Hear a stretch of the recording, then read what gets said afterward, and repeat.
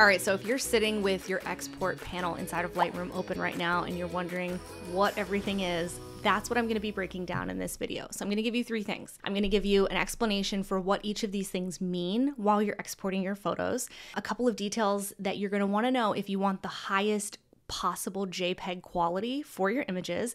And number three, how you can do this faster in the future. So stick around. I'm going to share my screen with you now and I'm going to break down the Lightroom Classic Export panel. Now, I just took some images of my sister-in-law for some headshots that she needed the other day, and so I'm gonna use these as an example for exporting. So I have this image highlighted. If you wanna export all of them, you can just do Command A, and that's automatically going to highlight everything in this collection.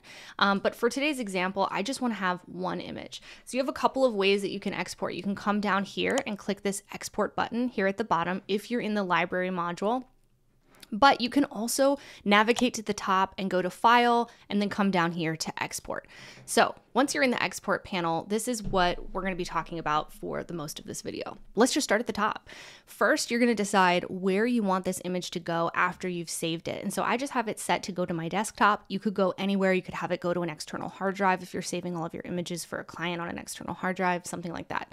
So I like it to go into a folder. I'm just naming this Lisa's headshot. So name it whatever you'd like. I'm going to go down to File Naming. So I'm going to rename my files and I'm going to use something custom so that I can find this and I can easily search for it in the future. So a good tip is to make sure that you do this step. I know I get a little excited sometimes and I just quickly export images without making these changes and then I have no idea what they're named. So put the year, put what it is, help yourself find this in the future. And then having the extensions be lowercase here, you can do uppercase, you can change that here just depending on what you like for your photos. If you want to change this to something very specific for your business, like let's say you do the year, the month, the event, and your client's name, you can change that and save it as an export saved setting. We're not exporting a video, so we can skip over that. And then for your file settings, this is important. We're going to be exporting for JPEG. We're going to keep that quality all the way up to 100. Make sure that you do not limit the file size if you want your image to be the biggest, most beautiful file that you can possibly get. Now, if you do want to get a very specific sized image, especially a very specific size file, that's exactly where you would do it. Color space is sRGB, which is going to be great for print. It's also going to look great on screens.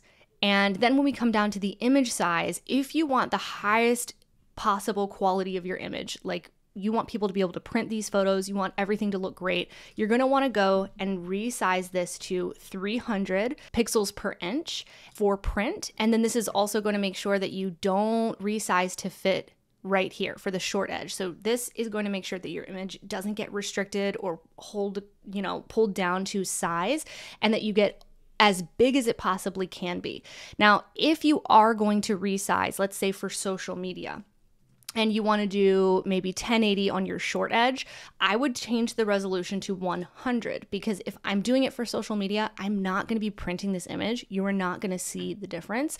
Resolution around 100 is like kind of a sweet spot that I've found where you cannot see the difference if it's just on screens. If you go to print it, of course, then it basically becomes DPI. And if you only have 100 DPI dots per inch, all the detail, I guess, is going to get lost because you do not have the resolution set at 300. So again, high resolution image, you want this to be at 300. And then output sharpening. I don't do any of these sharpening settings because I like the image to be true to how I edited that image inside of Lightroom. Um, and then your metadata is just what image is or what file information is attached to the image. So you can check these based on what you want the image to contain after it's exported from um, Lightroom. Watermark is really cool. If you want to add a watermark to all of your images at once, maybe you're sending a proofing gallery to someone or you want your credit to be on that image, you can go and edit your watermarks here and create a custom watermark for yourself or your business or your brand. And this is exactly where you would add that to your image. Now, it's going to ask you one more thing post processing. Basically, what do you want to happen after this exits from Lightroom? One thing you could do is have this open in another application. So, a lot of times people will grab an image, do everything that they can in Lightroom, and then they'll have it automatically open inside of Photoshop or wherever you're going to do the next step. And that's where you would choose that here. So, I'm going to have it do nothing. And then, one thing I wanted to point out to you that's going to make this so much faster for you in the future is just click this little add button and you can make a preset for your export. So you might have this as like your like high res, you know, 2022. And you keep this and that way every time you come to this export panel, you don't have to go through all of these steps. You know you just want high res to be there. You could also do one of these for social media. So let's say you do we want to resize for social media. You don't want this massive file size and you do want it to have good quality, but you want to make sure that it's resized to social media. So you're going to go to your short edge, you're going to make sure that the pixels make sense for something like social media. So you might do like 1080 on your short edge. And then this is what you would save for your social media preset, making it so much faster every time you have to do this in the future.